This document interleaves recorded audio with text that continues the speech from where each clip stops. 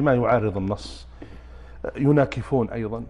وإن لم يناكفوا النص صراحة ناكفوه بالمعنى فقالوا ليس لكم أن تأطرون على فهمكم. نعم. نعم هو بالنسبة من يقول إني أقتصر على القرآن ولا أخرج عن القرآن إلا بما أمر الله إلا بما بينه الله سبحانه وتعالى أو دل عليه في كتابه. نقول الله جل وعلا قد دلنا إلى طاعة رسوله صلى الله عليه وسلم وقرن الله طاعة نبيه بطاعته جل وعلا. ويقول الله سبحانه وتعالى أطيعوا الله وأطيعوا الرسول.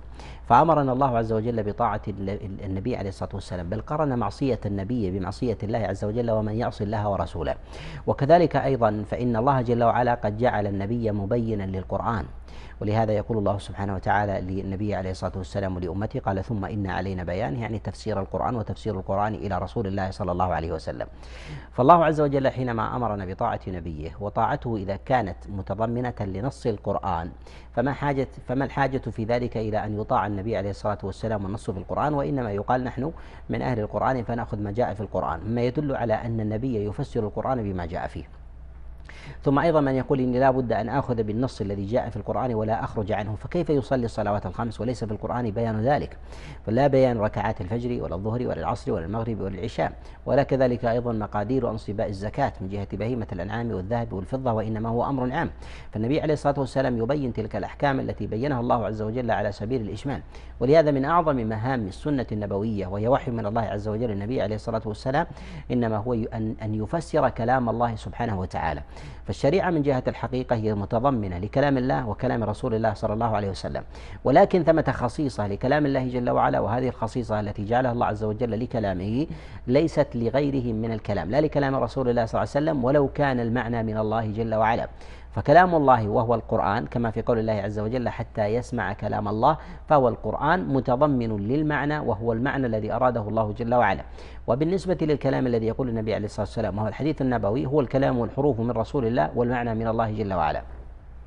فإذا صح الدليل عن النبي عليه الصلاة والسلام وكانت الدلالة في ذلك ظاهرة فإن فإنه لا مجال إلا إلا للأخذ بذلك.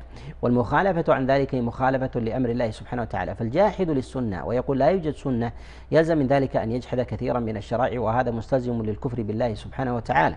ثم أيضا ما مهمة الأنبياء؟ إذا كان النبي لا يطاع بقوله وفعله وتقريره وسنته التي يدل بها العباد فما الحاجة في ذلك حينئذ إلى إلى بعث الرسل؟ وإنما تنزل كتب ثم يأتي النبي بكتاب ثم يعطيه الناس ثم يمضي. ولا حاجة إليه أن أن أن يخاطب الناس ثم يدلهم ثم يؤمهم ثم يغزو بهم ثم يرشدهم ويأمرهم وكذلك أيضا يقرهم على كثير من الأفعال. وهذا من التلبيسات أيضا من من طرائق أهل الأهواء أنهم إذا أرادوا أن يتملصوا من من أحكام شرعية تملصوا بها بتقعيدات. والنفوس إذا أرادت شيئا سولت للنفس. أو سولت للعقل أن يؤصلها بشيء من التأصيل المنطقي. وذلك إذا لم تجد تأصيلا منطقيا قامت وركبت العقل واستبدت بشيء من الإلحاد والجحود كما كان كفار قريش. لما رأوا الحجة من جهة الأصل الذي جاء بها النبي عليه الصلاة والسلام حاولوا أن أن يردوا عليها لما لم استطاعوا قاموا بالجحد جحد النبوة نبوة النبي عليه الصلاة والسلام. لماذا؟ لأن هذا باب إذا إذا أغلقته أغلقت ما وراءه جميعا.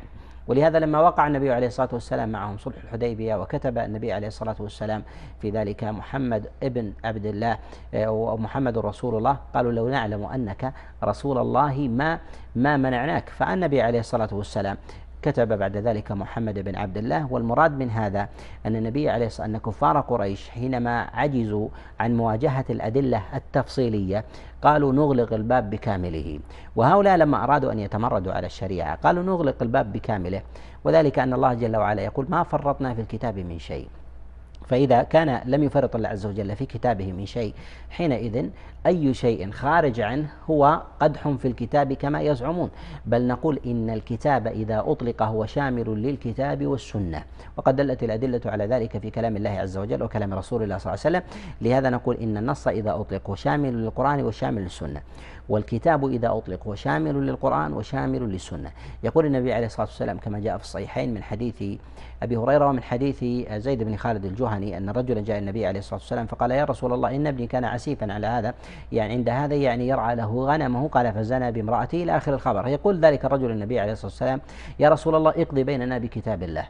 قال النبي والذي نفسي بيده لأقضين بينكما بكتاب الله. فقضى النبي جملة من الأحكام منها ما هو في القرآن ومنها ما لم يكن في القرآن مع ذلك أقسم النبي أنها من كتاب الله.